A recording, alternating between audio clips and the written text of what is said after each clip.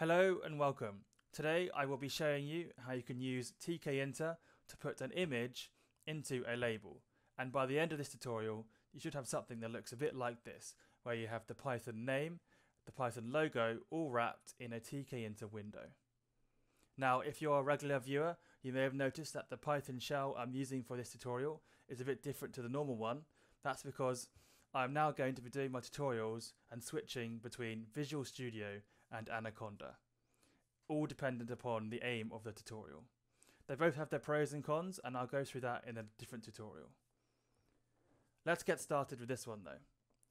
So, in order to get the image into a tkinter label, the first thing you'll need to do is to create your tkinter window.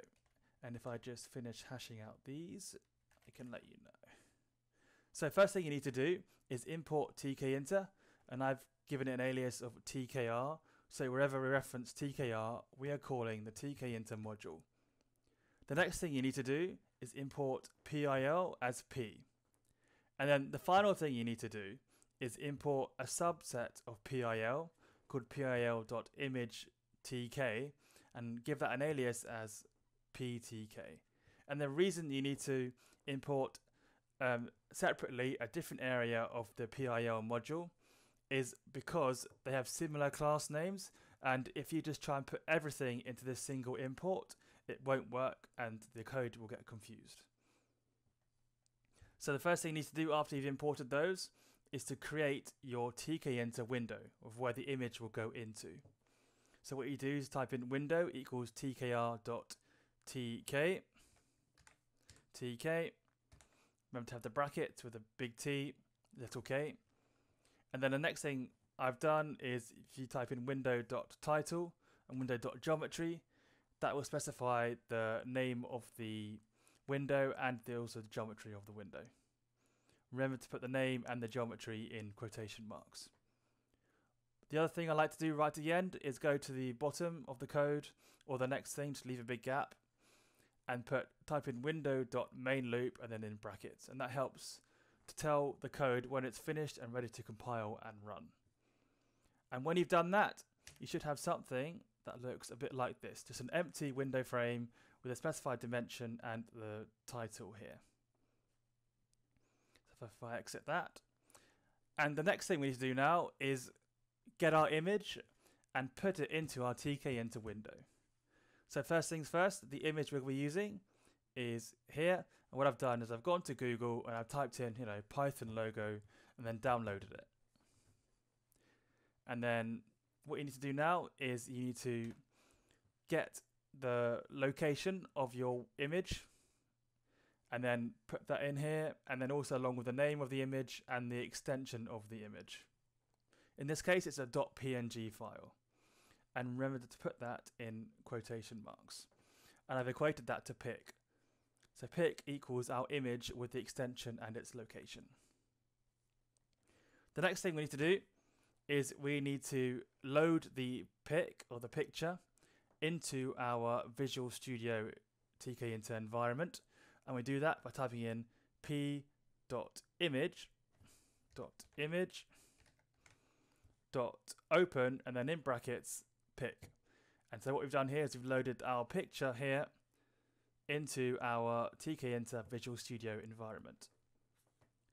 The next thing we need to do is type in photo equals, and then what we what we're doing here essentially is we're loading our picture into our tkinter, but using the image tk. So in this case, what the pillow module does, or the PIL module does, is it enables this picture to be loaded into the tkinter window. So after you've put it into the sort of TK into the sort of Visual Studio shell, we also need to put it into a format or into an environment which can be used with the tkinter module. And that's what this PTK does. So if we type in photo equals, giving it an alias, and then type in PTK, calling our pil.imageTK, and then type in dot photo image, type in dot photo image, and then in the brackets type in pick one. and that's given an alias of photo. That's a variable photo. And that is our photo here loaded. Ah, the next thing we need to do is create our label for the photo to go into. So if we type in tkr.label and then in, la- in the brackets type in window, linking the label, putting the label into our main window.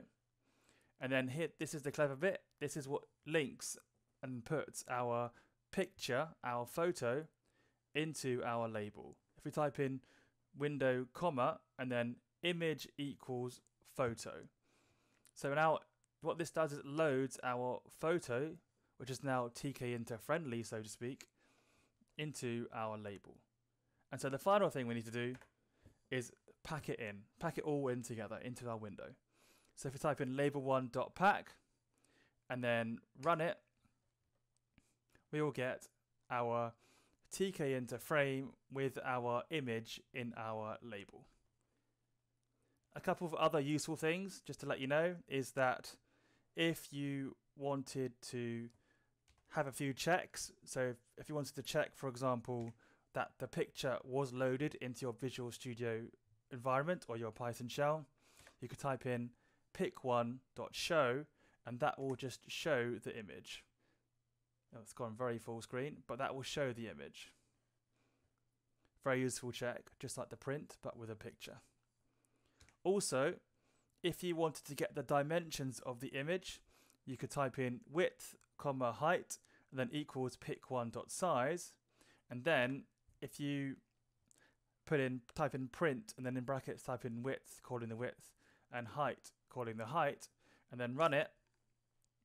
So if you forget this, but here in this command prompt looking screen, you can have you have the dimensions here of 601 and 203. And that 601 is the width and 203 is the height. So I hope you've enjoyed that tutorial. Please do check out my other tutorials and please do subscribe if you really liked it. I've got many more on their way. Thank you very much for watching.